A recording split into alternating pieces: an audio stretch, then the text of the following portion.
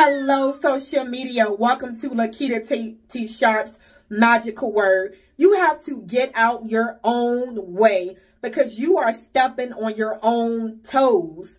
Get out your own way. Tell yourself to move. Sometimes you have to talk to yourself and tell yourself to get out my way. I'm doing it. I'm pushing forward.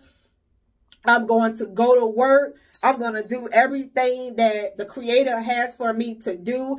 And I'm going to do a great job doing it. I am going to do it. I am going to put laziness to a side and I am going to move. Get out your own way.